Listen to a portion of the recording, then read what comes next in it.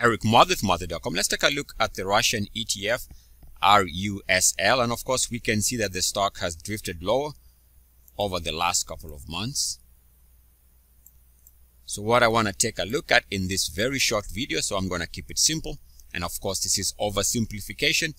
These things can get complex and are complex, but sometimes we have to simplify it to try and understand what is going on. So we can see here, the first thing that I see is there was a breakout attempt that failed.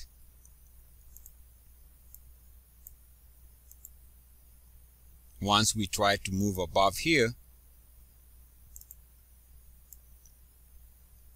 the stock was unsuccessful trying to close above the previous monthly closing high there. Tried again here and failed.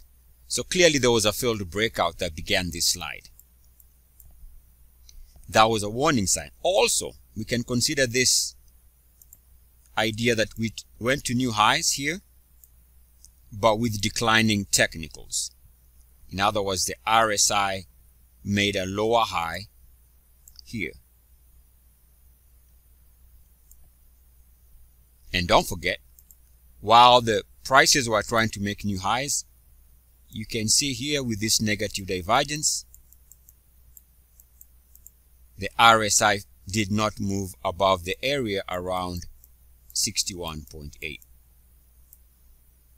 So those are some of the things that I can see here that gave us the top in the, let's call it higher 60s in the beginning part of 2018.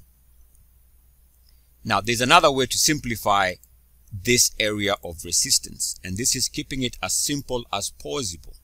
What you can do is if you go to the monthly chart which is this is the monthly chart. You can see here what happened.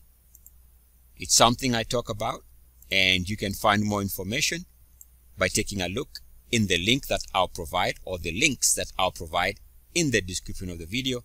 But what we see here is RSI 50